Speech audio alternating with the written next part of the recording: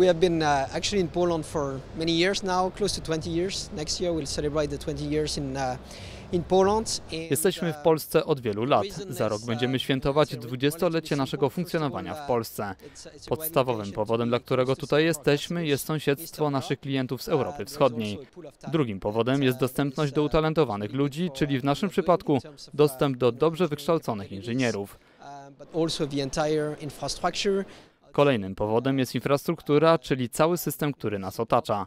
Wsparcie lokalnych władz, dobre stosunki z pracownikami i kluczowymi partnerami. I oczywiście Śląsk w sam sobie jest dla nas atrakcyjnym gospodarczo regionem. Uh, um, uh, economic zone as well in Silesia, which is uh, also an attractive area.